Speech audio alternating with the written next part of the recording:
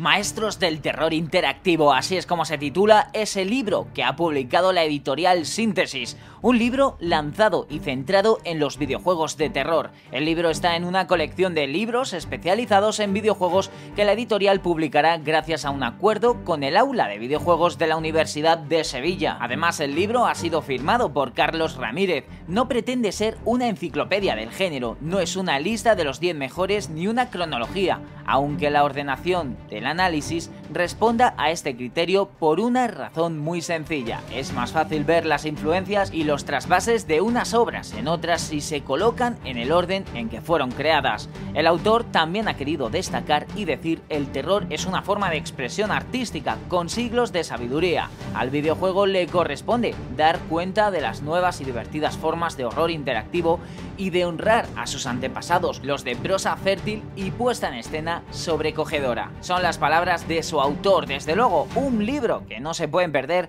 los amantes del género del terror en el mundo de videojuegos, maestros del terror interactivo, un libro en el que por cierto encontraremos títulos como Alone in the Dark, Clock Tower, Resident Evil, Enemy Zero, Silent Hill, Project Zero, Condemned, Criminal Origins o Deadly Premonition. Quizás haya llegado el momento de dar un respiro a nuestro mando para coger un libro.